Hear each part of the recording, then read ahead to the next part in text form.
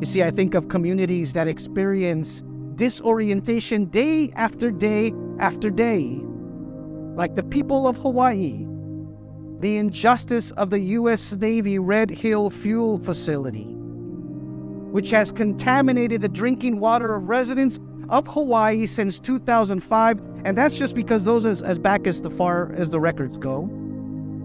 But the U.S. Navy reports show spills dating back to 1947. Disorientation.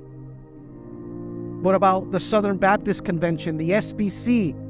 This denomination has been misguided by the view of Scripture, expelling just this week five churches from their denomination, which is the largest denomination in the U.S., because they allowed women to serve as pastors believing that the office of pastor is limited to men only, according to Scripture. This orientation. Do you know the name Alonzo Bagley? Probably not. His black body died to a gunshot to the chest just last month. 43 years old, leaves behind a wife, a daughter in Baton Rouge, Louisiana, and the body camera footage captures the encounter when Mr. Bagley says, Oh God, you shot me, as he slumped to the ground. And the voice of the officer saying, No, no, sir, sir.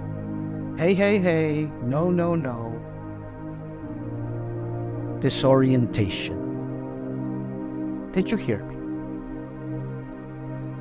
The Human Rights Campaign hosted a virtual briefing after an unprecedented 340 anti LGBTQ bills were introduced in state legislatures across the country. 340 just this year, the highest number of bills targeted towards this community in a single year to date. Disorientation. And yet, why? Why do I preach about these ills and the sins of the church, the sins of society, week after week after week after week? Because disorientation is happening all the time, all over this country, all over this world, and there is a need for reorientation, a desperate need for the voice of God.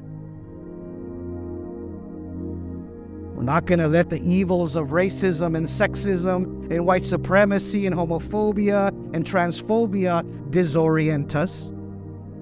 We will be reoriented daily. We will be regenerated daily. We will begin again daily. You know why? Because there, in that space, is where we meet the divine.